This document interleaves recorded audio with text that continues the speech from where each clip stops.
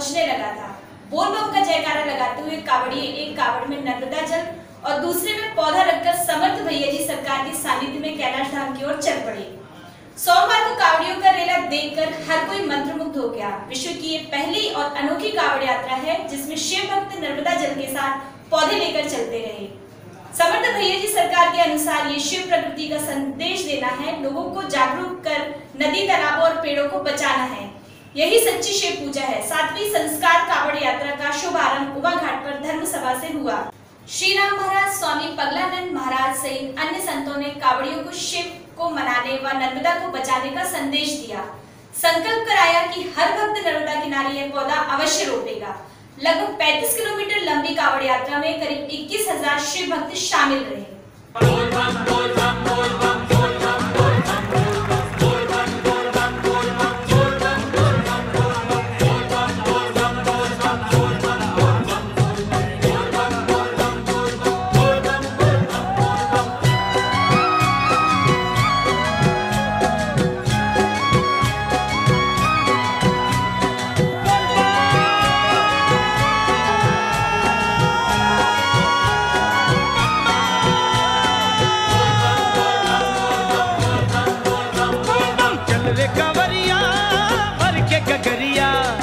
चल रे कंवरिया भर के गगरिया। उठे हर कदम तेरा बोल के बम बम, चल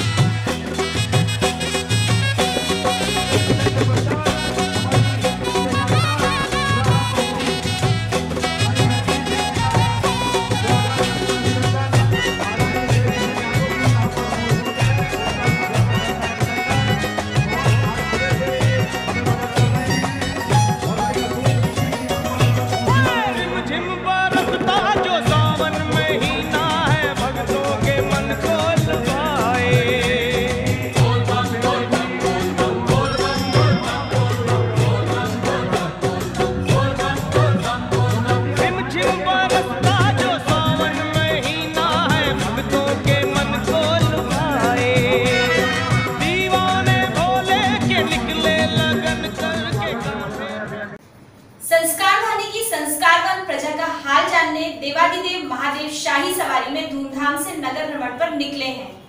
खास बात ये रही कि पहली बार महादेव को शहर भ्रमण करने महिलाओं ने पालकी अपने कंधों पर रखी, जो कि जनाकर्षण का केंद्र रही। सुबह कावड़ियों ने जहाँ बम भोले का जयकारा लगाकर लोगों को शिव भक्ति में खो जाने मजबूर कर दिया, वहीं शाही सवारी में विराजमान गुप्तेश्वर महादेव के दर्शनों को जनमानस उमड़ पड़ा है। हर तरफ़ भोले बाबा के जयकारे, गुंजायमान हो रहे हैं। सावन माह के दूसरे सोमवार के अवसर पर संस्कार धानी शिवमय हो गई। हर भक्त गुप्तेश्वर महादेव को अपना अतिथि बनाना चाह रहा है। प्रार्थना पूजा के बीच बैंड बाजे शिवमयी धुनों से लोगों को मंत्रमुग्ध कर रहे हैं। जगह जगह पुष्प वर्षा की जा रही है। के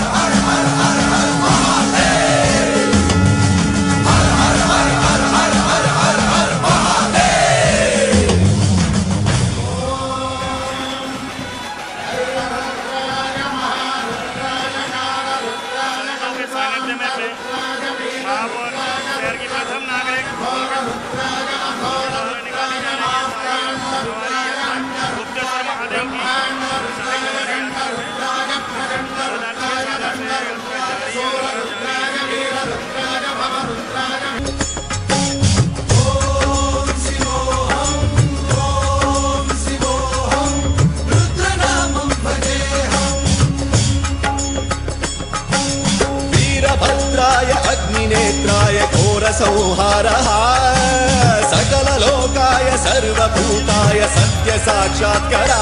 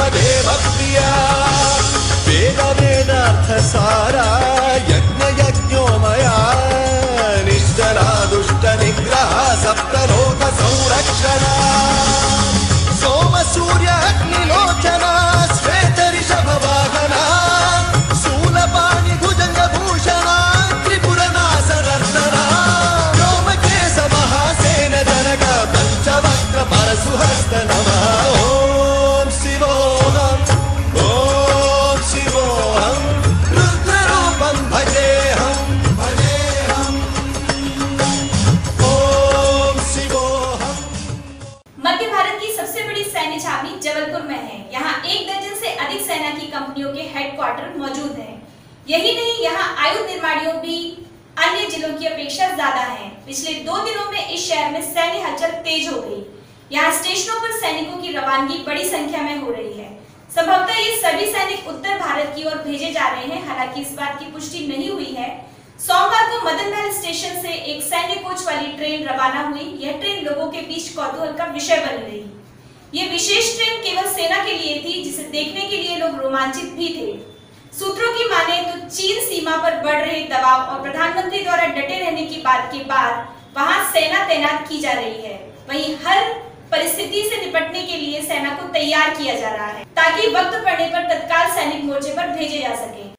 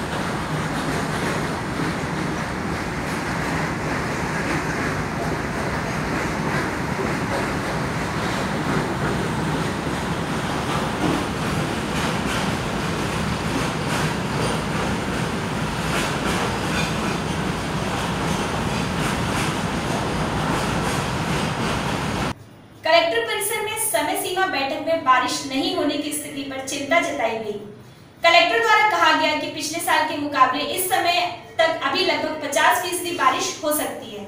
इसलिए कृषि अधिकारी स्थितियों पर नज़र रखे। वहीं बोनी भी लगभग 40 प्रतिशत हो सकी है। धान का रोपा नहीं लग पा रहा है। इसी तरह शासकीय विभागों के दौरान जीएसटी के नियमों पर भी चर्चा की गई। जिस तरह से टीडीएस काटना है जीएसटी के अंतर्गत क्या नए नियम हैं, इन सब जानकारियों को बैठक में रखा गया। अतिवर्षा की स्थितियों पर भी अधिकारियों को चेताया गया कि यदि अतिवर्षा होती है तो आपात स्थितियों में, जल प्लावन की स्थितियाँ में किस तरह से बचाव करना है, उस पर निर्देश दिए गए।